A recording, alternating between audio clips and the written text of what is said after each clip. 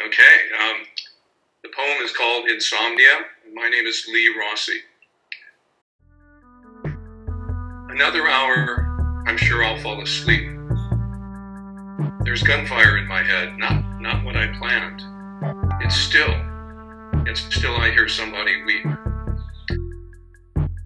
My girlfriend's father thinks I'm a creep. I lost my girlfriend when I lost my hand. Another hour, I'm, I'm sure I'll fall asleep. I hear U-boats burrowing the deep. Some young Mozart plays a baby grand. It's still, it's still I hear somebody weep. I see my soldier father in a jeep driving too fast, a pistol in his hand. Another hour, I'm sure I'll fall asleep. It's harvest time out there, a time to reap. I see a desert city sinking into sand.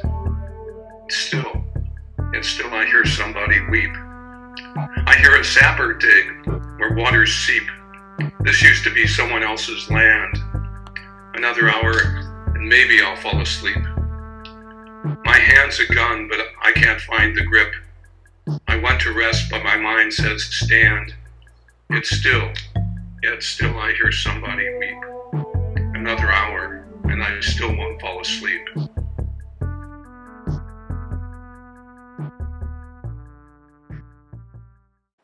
I'll, I'll start with the process. I, I read a lot, and if I get lucky, I read something that inspires me, either a subject or uh, a formal invention, an image maybe, or some kind of language uh, I hadn't seen in a poem before. I, I, love to mix kinds of language, formal and informal, uh, bureaucratic language and slang. When I see someone else do it well, that really gets my juices running. And um, I, and I should say that I'm not the kind of poet who tries to memorialize every significant experience. In fact, until I start writing, I really don't know what's significant in my life. Um, very often, reading other people's works will trigger that kind of insight, and then I'll start writing.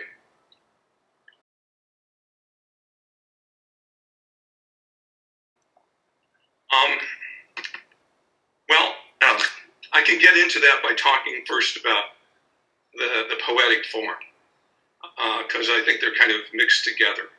Um, the first thing I want to say about this poem is that it's something called a villanelle. And the villanelle originated in France many years ago, and it was derived from peasant songs about country life. Uh, the, the form didn't become fixed the way it is now, as you see on the page, until about the 17th century. And interestingly, more villanelles have been written in English than in French or any other language. Um, the most famous ones in English are um, Dylan Thomas's Do Not Go Gentle into That Good Night and uh, Elizabeth Bishop's One Art. So, what does that have to do with my poem? Um, my theme is not country or it's not rustic or bucolic. There's nothing country about it. My theme is trauma. Um, for me, the defining experience of my youth was the Vietnam War. Uh, but that was just my war. Since then, every generation of American kids has had to deal with their own war. That's the price you pay when your country is an empire. Every war and every generation produce, produces its own casualties, not just the enemy, but also the young soldiers who go out and fight what they think is right, fight for what they think is right, or because they don't have a choice.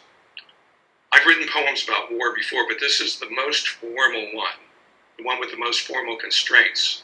It's got a predictable rhythm and lots of rhyming on the sounds and and eep. I like to say that the villanelle is a poem with a repetition compulsion, a poem with PTSD. I suppose that's why I kept after it, although it took I had to revise it many times.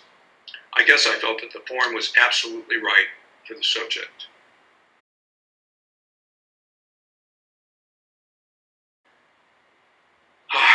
and you know, it took many, many attempts uh, getting the uh, finding the right rhyme words, making it sound like somebody talking, um, uh, shuffling the pieces around until they all seem to to make a, a sort of sense and a sort of progression.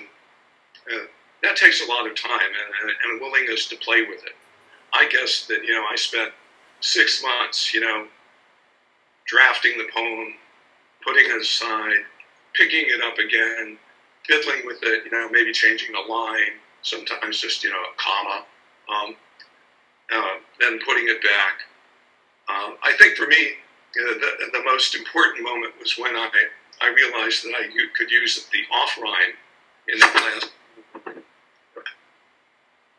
deep, uh, that uh, the poem finally came together.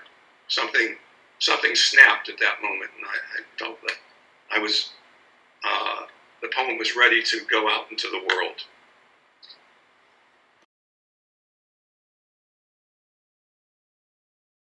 Well, the most important thing is just to uh, read as much as you can. Um, I um, I read a lot, mainly poetry. Um, but you know, if you're reading poetry or any other thing, you have to pay attention. Pay attention to what grabs your imagination. You know, I'll I won't know right at first, you know, whether something's important or not. But you know, maybe later when I'm lying in bed in the middle of the night and I've got insomnia, then it occurs to me those those important bits start popping into popping into my head. And I'll get up and I'll write them down, and then later on I'll, I'll go back to to that. Um, I keep that sort of material in a journal, and then I'll go back to that and start uh, working with that and seeing where it leads me.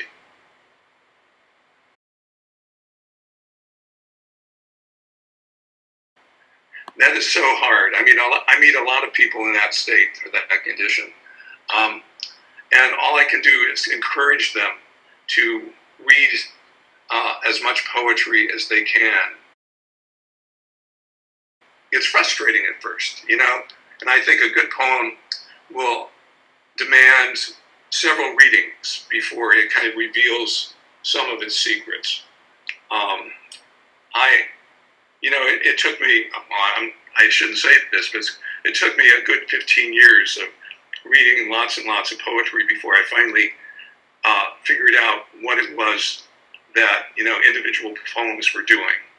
And so, um, um, and I, I, think you should read poetry that doesn't really appeal to you necessarily. I, I read, uh, I don't get spoken word poetry. I mean, it, you know, and I don't write spoken word poetry. But I do listen to it and I do read it because yeah, I think it strengthens my voice. It makes me more willing to kind of be expansive and open when I'm writing a poem.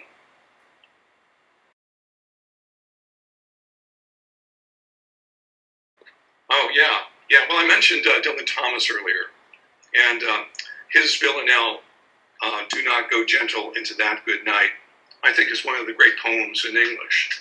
And um, I think the reason why it's great, uh, well, there are a couple of reasons why it's great. First of all, um, it uses um, the imperative mode. It gives commands, you know, and a lot of poems don't do that. You know, a lot of poems are very laid back. But he says right at the beginning, do not go gentle into that good night. Rage, rage against the dying of the light. So right at the beginning of the poem, we're giving given these two great commandments. Um, it's biblical, is what it is, you know. And then another truly magical thing about the poem is the way he flips those statements, uh, transforming them from commands into descriptions. And he uses, uh, talks about how wise men, good men, wild men, um, do not go gentle into that good night, how they rage against the dying of the light. But then at the end, when he addresses his own father, his own father is in the last stanza.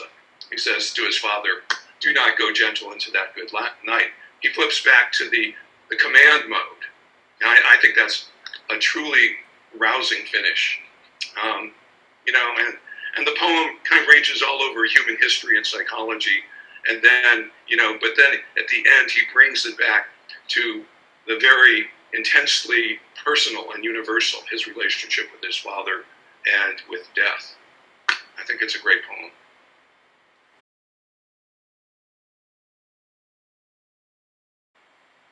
you know, I uh, I work with uh, Poetry Flash in the Bay Area.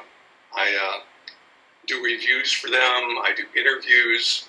Um, there's some stuff up on the, the Poetry Flash website right now that uh, I did uh, a recent interview with Margaret Randall, who's a longtime um, uh, peace and uh, anti-imperialist activist. Um, I've also got a number of reviews on that uh, on that website as well. And then coming up later this uh, in early summer, Poetry Flash is sponsoring the Bay Area, or I'm sorry, the Northern California Book Awards and uh, I always participate in that either uh, in the poetry category or in the uh, translation category.